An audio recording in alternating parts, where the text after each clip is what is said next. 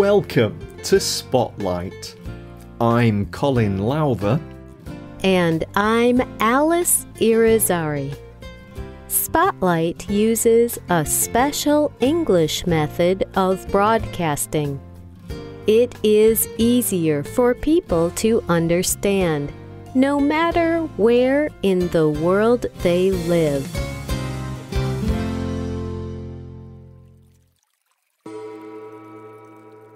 Zhao Xiaoyong dips his brush into a patch of oil paint. Then he takes the brush and carefully touches it to the surface of the painting. The painting is of a group of yellow flowers. Normally, these sunflowers are a symbol of happy things. But here, the flowers hang down. It is as if they are as saddened as the painter himself. Xiao Yong is not making his own work. Instead, he is copying a painting. It is by the famous artist Vincent van Gogh.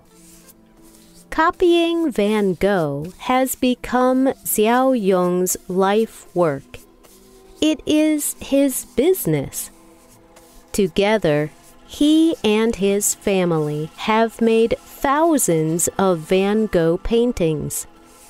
They sell them to people all over the world. Xiao Yong's work may seem unusual but he and his family live in Dafen Oil Painting Village in China. In Dafen, thousands of other painters copy work by famous artists as well.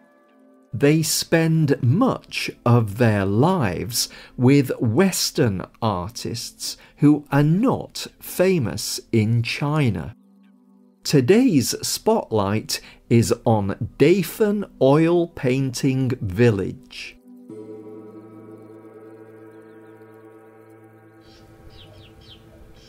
Dafen Village is a small part of the city of Shenzhen, China. It is less than half a kilometer wide, but it is home to over 8,000 painters. At one point, it was responsible for 60% of the world's painting reproductions. But Dafen was not always known for its art. For a long time, Dafen was mostly farmland. The village itself did not have many people. It was near Shenzhen, but there was not much there. Wang Jiang was a businessman and painter from Hong Kong. In 1989, he visited Shenzhen and he visited Dafen. He recognized that Dafen would be a good place to set up his business. So, he bought several buildings there. And he employed several people to make reproductions for him. These people were not trained artists. Many were farmers or laborers. Jiang had to teach them how to paint. As time went by, more people came to Dafen looking for jobs. Zhang's business expanded, and other painters like him began to travel to Dafen. They were trying to follow his example. Zhou Yongju is another painter from Dafen. he came to the village in those early years. He spoke about his experiences in the documentary China's Van Goghs. In 1991, there were many people painting in Dafen. I also wanted a job, so I came.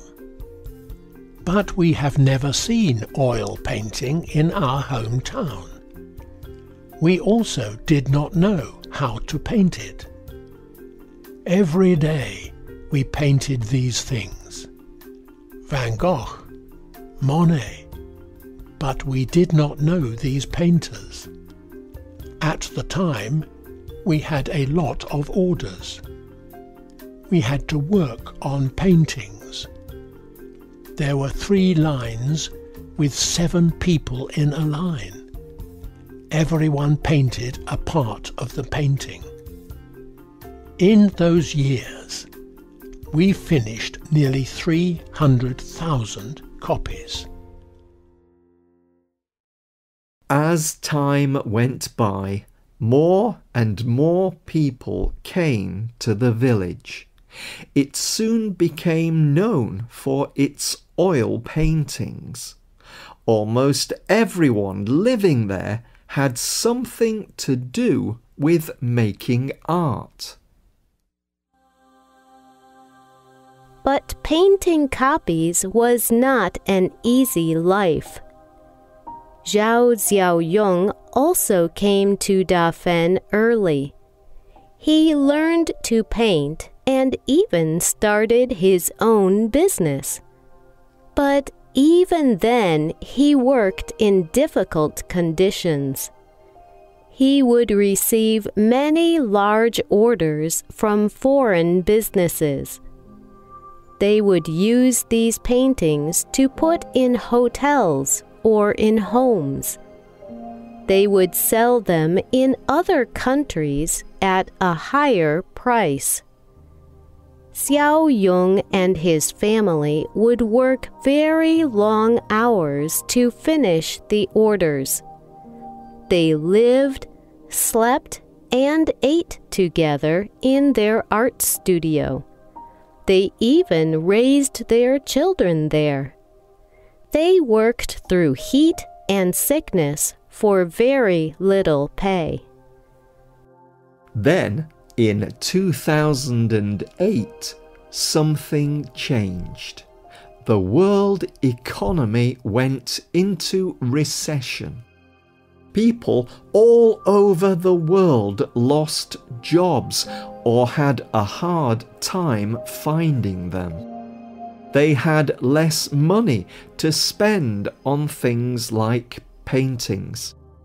Before, most sales came from outside of China. Afterward, these sales fell off. This was a difficult time for many of Dafen's painters. Work was sometimes hard to find there was much less demand for Western copies. But this was not always a bad thing.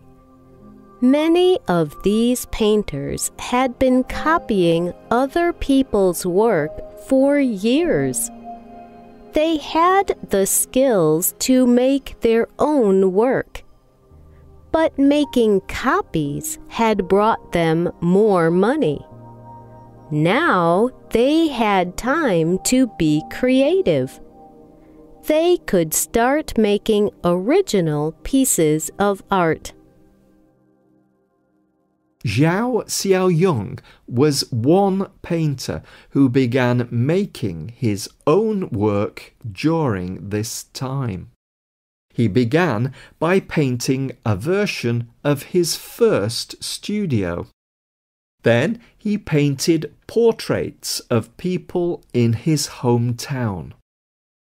Xiao Yong had copied Van Gogh for years.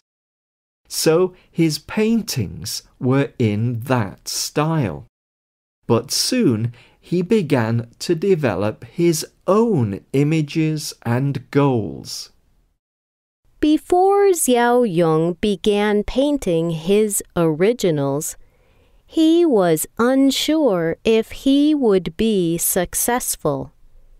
He did not know if anyone would buy his work. He spoke in the documentary China's Van Goghs about his hope and his fears. My life is my art. Just like this. Not now, but maybe in 50 or 100 years' time, people will like our paintings.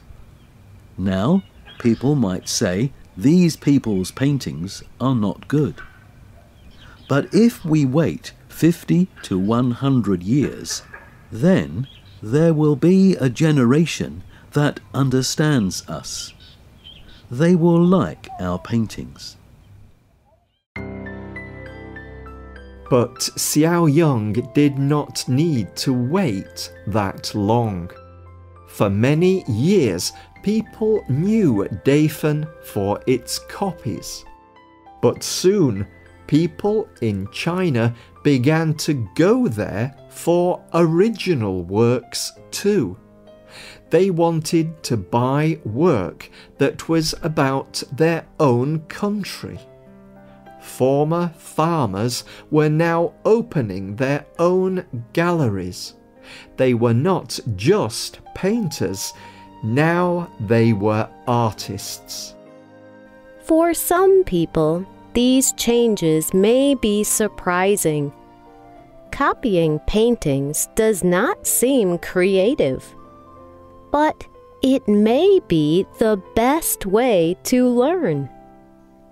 Eddie Kala is an American artist who has worked with people in Dafen.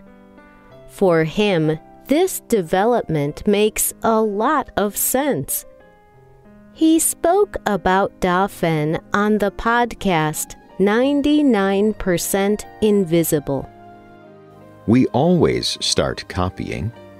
That is how learning works. If you learn to play an instrument, they teach you how to play existing songs. They do not say, well, write an original song.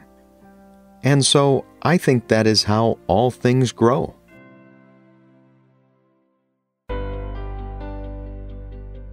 Today, there are still many copy shops in Dafen.